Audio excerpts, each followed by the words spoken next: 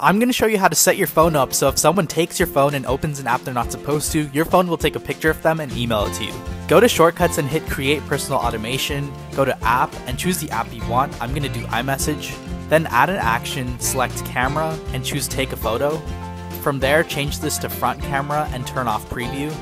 Then hit next and turn off ask before running. Then add another action, hit mail, hit send mail and put in your email address right here and now, whenever someone snoops on your text messages, your phone will take a picture of them and email it to you. So, I don't know if you're anything like me, but I try to automate everything in my life, and there's one thing that hasn't been automated.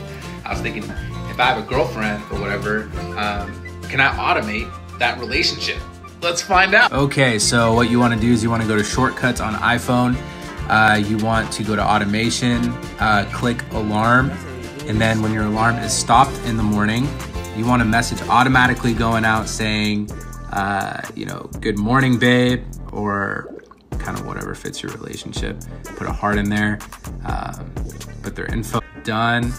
And then next page, um, uncheck ask before running. That's huge because now then it will automatically run. Um, next page, uh, go to sleep.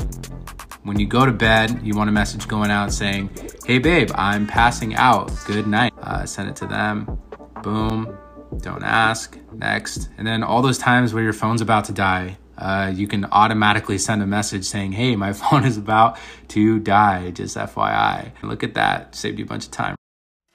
Do you ever give someone your phone but you don't want them to look through your photos? Do this. In settings, we're gonna go to screen time. Now we're gonna click on app limits and then add a limit. Click on creativity and then photos. Now we're just gonna set it to one minute.